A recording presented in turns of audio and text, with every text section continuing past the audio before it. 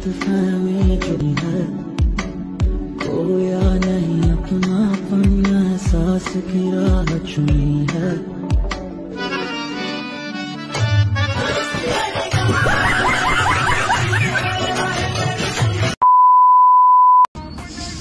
अबे भाई तुझे ठंडी लग रही क्या?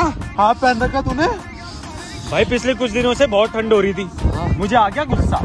मैं घर गया कैलेंडर में मई का महीना लगा दिया। बाबा